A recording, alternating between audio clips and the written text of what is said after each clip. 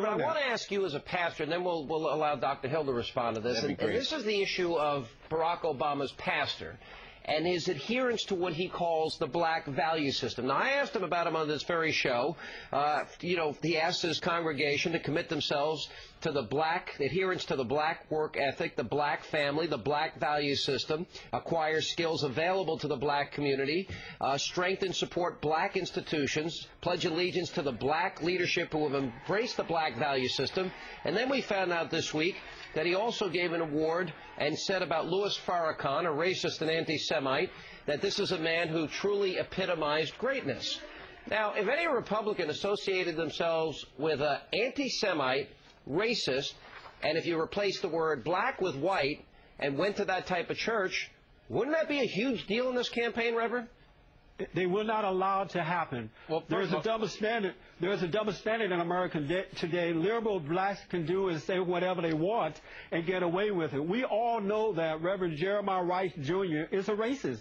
Okay, anyone can I jump that supports, in? Anyone that supports uh, uh, Farrakhan, and I also have to say real fast, is that God, if you're born again of the nature of God, then you're of the Spirit, not right. of the color. Okay, well, let me, let me respond to that.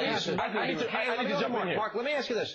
Well, can I answer Barack, that question first? Can Barack Obama's pastor uh-huh. says he truly, uh, what did he say? Truly epitomized greatness about a racist and anti-Semite Farrakhan and then he talks about the black value system. Why not the Christian value system okay, that well, transcends race? Well, well, well, first of all, to say that, that if, if, that happened to a Republican, it would be different is untrue. How many Republican presidents have embraced Jerry Falwell, Pat Robertson, other They're not racist and, and anti-Semites, sir. That's not the same as utter religion, and the white man is the skunk of the planet Earth, sir. They're racist, they're homophobic, they, they, I mean, we can go. No, they're not racist. Jerry Falwell, with all due respect, Jerry Falwell is not a racist, sir. I, I, that is a despicable right. comment, and it's not true. I, find it, I find it to be true, but also let, let me let me go you further. You find it to be true, but you cannot quote Absolutely. on this program one thing that would back that up. Oh, we, we can certainly say that Jerry Falwell was homophobic, but the bigger issue here is he was Jer not. Jer he was Jer not Jeremiah Wright. Jeremiah Wright's church here uh, pr promotes black self-determination. I think that black no people... No such thing, though. And, and, that's something that you can... Uh, are you talking about ghetto values? The, the, what are you talking about, ghetto values?